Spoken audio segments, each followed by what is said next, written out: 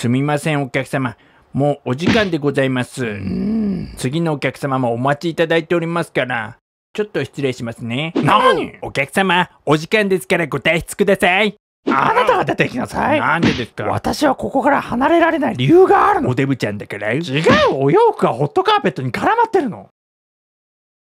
じゃあ無理やり半月まで服ダメになっちゃうでしょ、もう。ああ、二度と来るなよ、デブ猫。これはオーバーサイズのお洋服。ああ、やっと出ていった。